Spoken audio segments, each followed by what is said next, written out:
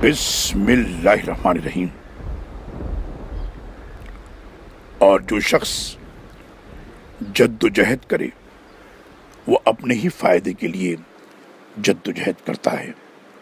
अल्लाह ताला यकीनन अहले आलम से बेनियाज है।